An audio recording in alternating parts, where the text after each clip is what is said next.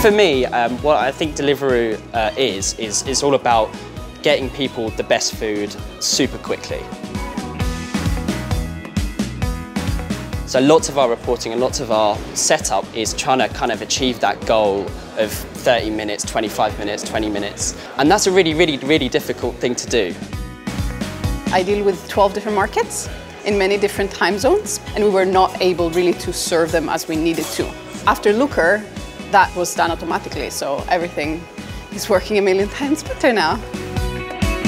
To be honest, I probably had like a day's induction and it was just thrown in the deep end almost by my own accord. I don't think the tool takes very much time to learn. I think having a tool where you can explore data and understand you know, what is available, it's amazing.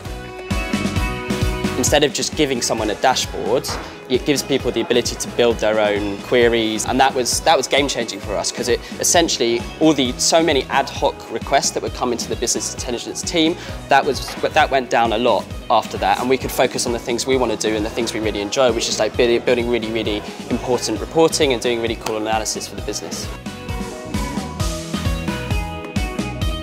So I would hate it if Looker went away tomorrow. It would make lives extremely difficult, especially because we've gotten used to the flexibility and automation of the tool. It would definitely be a step backwards rather than forwards. Every single decision we make should be based on the data we have. So enabling a framework to get the right data to the right people is hugely important for any big decision we're going to make. And that's why a tool like Looker is so useful.